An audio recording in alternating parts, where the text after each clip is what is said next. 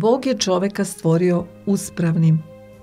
Samo gle, ovo nađoh, da je Bog stvorio čoveka dobra, a oni traže svakojake izmišljotine. Knjiga propovednikova, sedmo poglavlje, 29. stih.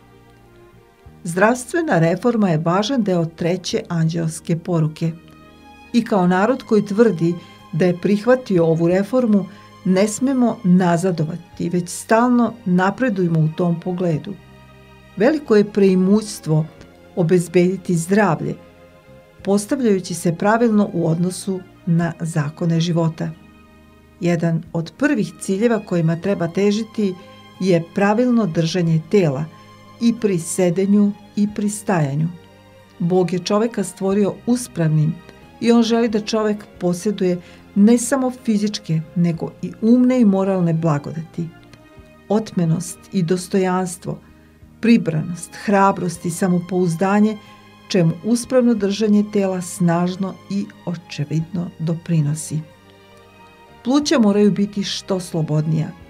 Njihova sposobnost i obim zapremine razviće se u toliko više ukoliko su slobodnija u svom radu – i sigurno će se smanjiti ako su stalno izložena pritisku i stezanju. Uobičajeno preterano sagibanje pri radu u sedećem položaju veoma je štetno.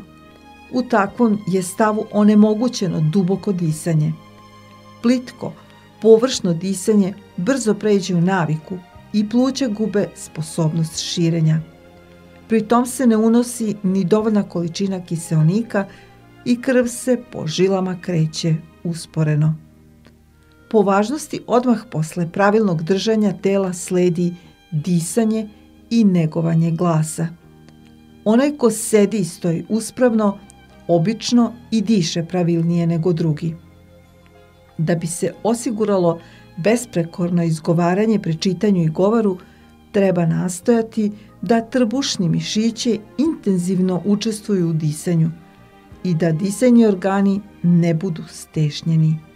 Napor treba preneti na trbušne mišiće, a ne na mišiće grla.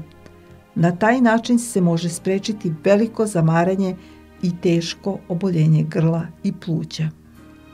Da bismo imali dobro zdravlje, moramo se za to moliti gospodu, ali isto tako moramo učiniti i sve što možemo sa svoje strane da bismo ispunili uslove neophodne za dobro zdravlje.